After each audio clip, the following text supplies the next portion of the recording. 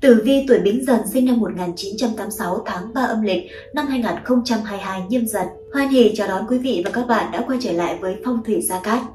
Trong chuyên mục tử vi chi tiết cho từng tuổi trong tháng 3 âm lịch năm 2022 nhâm dần ngày hôm nay. Và lời nói đầu tiên thì thay mặt cho những người thực hiện chương trình này, Diễm Quỳnh xin mến chúc tất cả quý vị chúng ta luôn mạnh khỏe, hạnh phúc, gặp nhiều thành công hơn nữa trong cuộc sống của mình. Quý vị thân mến, sống ở trên đời này thì ai cũng mong muốn gặp được nhiều may mắn, thành công. Làm công việc gì cũng thuận buồm xuôi gió, gia đình hạnh phúc, mọi chuyện an yên và không cần phải lo nghĩ gì nhiều. Và nếu nhiều hơn thì chúng ta cũng mong rằng con cái hãy tu tâm dưỡng tính, chăm ngoan và nghe lời cha mẹ. Thế nhưng điều đó đôi khi với rất nhiều người lại là mong ước xa vời. Bởi vì trên thực tế thì có những gia đình họ rất hòa thuận nhưng kinh tế lại bấp bênh, phải lo lắng và gánh vác rất nhiều những trọng trách trên vai. Còn có những người thì chúng ta lại có kinh tế rất dư giả nhưng mà lại không được hạnh phúc trọn vẹn. Thiết nghĩ đó cũng chính là chuyện thường tình trong kiếp nhân sinh, đúng không thưa quý vị? Trong chuyên mục tử vi chi tiết cho từng tuổi trong tháng 3 âm lịch ngày hôm nay thì những người thực hiện chương trình kênh tử vi 247 cũng muốn chia sẻ với tất cả quý vị và các bạn về tử vi của những gia chủ tuổi Bính Dần trong tháng 3 âm lịch trong tháng 3 âm lịch này thì công danh sự nghiệp tài lộc, vận hạn của những người tuổi bính dần sẽ ra sao? Con giáp này có được thần tài mở kho, ban phát tài lộc hay không? Trên bước đường công danh sự nghiệp trong tháng 3 âm lịch này thì sẽ có những khó khăn trắc trở như thế nào? Sức khỏe, tình duyên sẽ có những chuyển biến ra sao? Xin mời tất cả quý vị chúng ta hãy cùng theo dõi nội dung chi tiết để nắm rõ được vận trình của mình. Xin mời! Sau đây là phần tổng quan của các gia chủ tuổi Bính Dần, sinh năm 1986 trong tháng 3 âm lịch năm 2022. Người tuổi Bính Dần sinh năm 1986 có mệnh Lô Trung Hỏa là người tính tình thẳng thắn, đã nói là làm. Họ là người làm việc rất nghiêm túc và có tinh thần trách nhiệm cao. Tài năng có thừa, lại thông minh, ham học hỏi. Những việc họ đã quyết thì dù thế nào cũng không từ bỏ. Phải cố gắng thế nào cũng nhất định làm được mới thôi đã nghiên cứu vấn đề gì, người tuổi bính dần sẽ đào sâu tìm tòi, hiểu thật cặn kẽ mới thôi. Gặp người cùng chung chí hướng hay sở thích, họ sẽ thao thao bất tuyệt, nói không ngừng về ý kiến của mình. Trời sinh thông minh đĩnh ngộ, phản ứng lanh lẹ, nên thời cấp sách đi học, thành tích học tập của người này thường đứng đầu lớp là học trò cưng của thầy cô. Họ thích các hoạt động ngoại khóa, cũng năng nổ nhiệt tình tham gia các hoạt động tập thể. Trong tháng 3 âm lịch, vận thế của người tuổi bính dần ổn định, bạn sẽ đón khá nhiều cơ hội và thách thức. Cơ hội phát triển tăng lên, đi kèm là thách thức và áp lực, đòi hỏi tâm lý phải thật vững vàng thì mới có thể đối phó với mọi biến động có thể xảy tới, từ đó gặt hái được những thành công như mong đợi. Tuy nhiên, tính tình kiêu ngạo, thích thể hiện sẽ gây ra những tác động không tốt đến sự nghiệp của con giáp này. Vì thế để tránh những mâu thuẫn không mong muốn, bản mệnh cần thay đổi những tật xấu của mình, học cách lắng nghe ý kiến của người trên, tuân theo sự chỉ đạo của cấp trên, làm việc gì cũng nên giữ tinh thần dĩ hòa vi quý, không nên có những quyết định bốc đồng, ngang ngược. Những người còn độc thân có thể được đón nhận nhiều tin mừng trong chuyện tình cảm, tuy nhiên cần biết giữ mình, nên quan sát và suy nghĩ thật kỹ trước khi đưa ra quyết định, giữ khoảng cách phù hợp với mọi người, tránh đào hoa xấu. Xét về thiên can, bính dương hỏa gặp giáp dương mộc nên gọi là thực thần, nghĩa là thân bị sinh xuất tiết mất khí, nên trong tháng này, các gia chủ tuổi bính dần cần phải hết sức chú ý và cẩn thận trong mọi công việc. Một chút sơ suất có thể khiến cho mọi sự cố gắng của bản mệnh đổ sông đổ biển. Anh chị cũng cần chú ý có tiểu nhân ganh ghét, quấy phá công việc cũng như gia đình của mình. Thứ nhất, về sự nghiệp quan vận. Tử vi tháng này cho thấy cơ hội phát triển sự nghiệp của quý gia chủ có dấu hiệu tăng lên. Bạn được giao nhiều trọng trách trong tập thể, được làm công việc yêu thích, đúng sở thích. Nhờ vậy mà đường tiến thân cũng rộng mở, lại thêm sự công nhận của cấp trên và sự tương trợ kịp thời từ những phút khó khăn của quý nhân sẽ giúp chặng đường phía trước của bạn nhẹ nhàng hơn trong năm nay. Ngày chạm tay tới mục tiêu của bạn không còn xa nữa, tuy nhiên không nên dựa dẫm quá nhiều vào vận may hay sự giúp đỡ của người khác, chỉ có tự thân cố gắng giành lấy thì cơ hội mới thật sự thuộc về bạn. Nếu không dù có cố gắng giải quyết hết nhiệm vụ trong tay thì cũng khó tạo ra được đột phá so với đồng nghiệp bên cạnh. Thêm nữa cơ hội nhiều hơn đồng nghĩa với thách thức và áp lực cũng không nhỏ. Bạn nên chuẩn bị sẵn sàng tâm lý để đối diện với mọi điều xảy đến. Những lúc mông lung, đừng ngài ngần mà hãy xin hỏi ý kiến từ người khác năm nhâm dần 2022, Thái Tuế là hạ ngạc đại tướng quân. Dưới chân của đại tướng quân có một con hổ. Để cho vận trình sức khỏe và gia đạo được hanh thông thuận lợi, thầy Gia Cát khuyên gia chủ hãy luôn mang theo bên mình một kim bài Thái Tuế để nghênh đón Thái Tuế mang lại may mắn bình an. Đặc biệt, kim bài Thái Tuế của phong thủy lộc tài được thầy Gia Cát trực tiếp khai quang chỉ chú và xem ngày sử dụng cho quý gia chủ để có thể mang lại công năng phong thủy tốt nhất. Vậy nên quý gia chủ hoàn toàn yên tâm khi sử dụng kim bài thái tuế của thầy. Thứ hai, về mặt tài lộc và tiền bạc. Tài vận trong tháng ở mức bình ổn, có dấu hiệu tăng tiến nhẹ, thu nhập chủ yếu vẫn đến từ công việc chính. Tuy có một số cơ hội đầu tư quý nhân mang tới, nhưng lợi nhuận tính về lâu về dài, cho nên dù hiện tại chưa thu hoạch được như mong muốn, bạn cũng chớ nên nản lòng quá sớm. Hãy cứ chờ đợi thêm, rồi bạn sẽ thu về xứng đáng. Ngoài ra bạn cũng có thể chủ động tìm kiếm một số công việc tay trái hay làm thêm lúc rảnh để tăng thu nhập.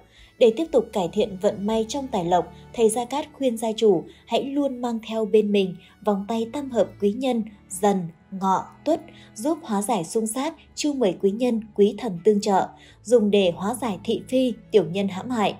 Khi những điều xấu không còn, điều tốt đẹp sẽ đến với bạn, mà từ đó tài lộc kéo đến ầm ầm, may mắn không gì bằng – Đặc biệt, vòng tam hợp quý nhân cũng được thầy Gia Cát trực tiếp khai quang, chỉ chú và xem ngày sử dụng cho các gia chủ để có thể mang lại công năng phong thủy tốt nhất. Thứ ba, về mặt sức khỏe. Tháng này, gia chủ không gặp nguy hại lớn nào về sức khỏe, dù có thì cũng chỉ là bệnh lặt vặt theo mùa, sẽ được chữa trị kịp thời. Tất nhiên bạn cũng cần phải chú ý rèn luyện thể dục thường xuyên để tăng cường sức khỏe. Những người làm văn phòng do tính chất công việc ngồi nhiều nên có dấu hiệu êm mỏi cơ, đau vai gáy, cần thường xuyên vận động nhẹ và tập các môn thể thao như yoga, đi bộ, chạy bộ để gân cốt linh hoạt. Những gia chủ tuổi bính dần chưa biết linh hoạt để giải tỏa bớt áp lực cho mình. Bạn chăm chỉ, chăm chăm làm việc mà không giải trí, thư giãn tinh thần cho nên có thể sẽ cảm thấy mệt mỏi nên biết nghỉ ngơi cùng với làm việc để tái tạo sức lao động, chứ nên tham công, tiếc việc quá mức, bởi cơ thể khi đã mệt mỏi thì dù có cố gắng hết sức làm việc cũng khó đạt được hiệu quả cao. Bạn nên sống khoa học hơn, quy củ hơn, cân bằng công việc và cuộc sống sẽ giúp bạn không những thành công mà còn có thể hưởng thụ trọn vẹn thành quả của mình sau những năm tháng vất vả lao động. Các quý gia chủ tuổi bính dần hãy luôn mang theo bên mình pháp khí phong thủy, bát bảo tâm kinh. Đây chính là vật phẩm phong thủy có tác dụng kỵ tà hóa sát, đem lại may mắn bình an và sức khỏe cho gia chủ. Để vật phẩm phát huy được tác dụng tốt nhất, thầy Gia Cát sẽ khai quang trì chú và xem ngày sử dụng vật phẩm theo tuổi của các gia chủ tuổi bính dần. Thứ tư, về mặt tình cảm gia đạo. Dù không được đào hoa chiếu mệnh, nhưng đường tình duyên của gia chủ vẫn đang tiến triển hết sức bình ổn, hạnh phúc được đảm bảo. Nữ mệnh vẫn đang trên hành trình tìm kiếm nửa kia cho mình sẽ có nhiều cơ hội, tình cảm hơn khi mà mối quan hệ được mở rộng, làm quen hoặc giới thiệu với nhiều người tiềm năng. Đây chính là lúc bạn cần chủ động và mạnh dạn theo đuổi hạnh phúc hơn nếu cảm thấy có thiện cảm với ai đó. Còn nếu giữ thái độ bị động thì sẽ rất khó thay đổi hiện trạng. Nam mệnh cũng cần chủ động và chứng tỏ thành ý của mình nhiều hơn, cơ hội sẵn có, nếu như không biết nắm bắt thì cuối cùng chỉ biết trách bạn chứ không phải là do số phận.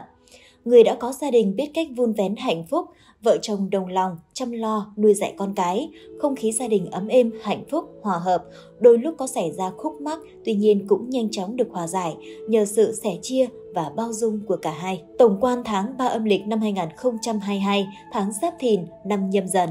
Tháng 3 âm lịch được bắt đầu từ ngày âm lịch từ 1 tháng 3 năm 2022 và kết thúc vào ngày 30 tháng 3 năm 2022, tức ngày 1 tháng 4 năm 2022 đến 30 tháng 4 năm 2022. Tháng 3 Giáp Thìn có nạp âm là Phúc Đăng Hỏa, tháng Thìn lục hợp dậu tam hợp tý và thân thành thủy cục, xung tuất, hình thìn, hình mùi, hại mão, phá sửu và tuổi tuất Đối với người tuổi bính dần trong tháng 3 âm lịch này cần tránh các ngày. Ngày âm lịch ngày 1 tháng 3 năm 2022, tức ngày 1 tháng 4 năm 2022 dương lịch có nạp giáp là giáp thân, có nạp âm là tuyền trung thủy. Ngày âm lịch ngày 13 tháng 3 năm 2022, tức ngày 13 tháng 4 năm 2022 dương lịch có nạp giáp là bính thân, có nạp âm là sơn hạ hỏa ngày âm lịch ngày 25 tháng 3 năm 2022, tức ngày 25 tháng 4 năm 2022 dương lịch có nạp giáp là mậu thân, có nạp âm là đại dịch thổ. Đây chính là 3 ngày không được cát lành khi tính theo tuổi của các mệnh chủ tuổi bính dần. Trong những ngày này, mệnh chủ cần phải hết sức chú ý và tốt nhất là không nên thực hiện những công việc quan trọng. Lời khuyên từ các chuyên gia phong thủy cho bản mệnh là nên chú ý tới sức khỏe nhiều hơn, chi tiêu tiền của vào những việc cần thiết, không nên vùng tay quá chán.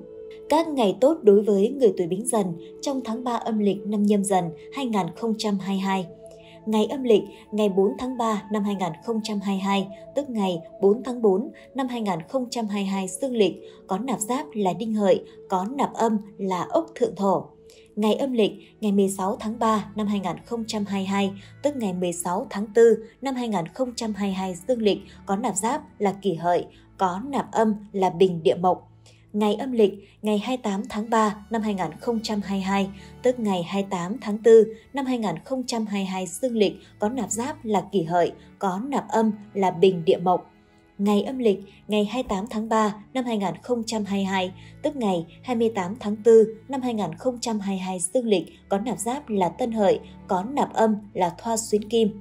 Đây chính là 3 ngày cắt lành trong tháng để các gia chủ tiến hành các công việc liên quan đến xuất hành hay tiến hành những công việc quan trọng sẽ dễ có kết quả cao, hoặc những vấn đề nhỏ trong gia đình bạn tiến hành đều hết sức thuận lợi. Ngoài ra, việc lựa chọn ngày tốt cần phù hợp với tuổi của gia chủ trong những công việc như tiến hành động thổ, ngày giờ mua xe mới, ngày giờ cưới hỏi. Để chọn được ngày giờ đẹp phù long tương chủ, ngày giờ tài lộc của gia chủ, anh chị và các bạn, hãy để lại thông tin dưới phần bình luận theo mẫu họ tên cộng ngày tháng năm sinh cộng số điện thoại hoặc anh chị có thể liên hệ trực tiếp đến số hotline hiển thị trên màn hình để được tư vấn hoàn toàn miễn phí.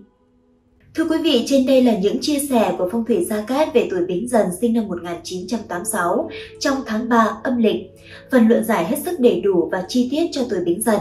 Và qua đó thì quý vị cũng phần nào yên tâm vững bước trong tháng 3 âm lịch hứa hẹn đầy tài lộc và may mắn. Rất cảm ơn tất cả quý vị đã quan tâm theo dõi. Quý vị cũng đừng quên ấn vào nút đăng ký kênh để có thể là người đầu tiên nhận được những kiến thức bổ ích này. Xin chúc cho tất cả quý vị luôn gặp nhiều may mắn, thành công và bình an trong cuộc sống.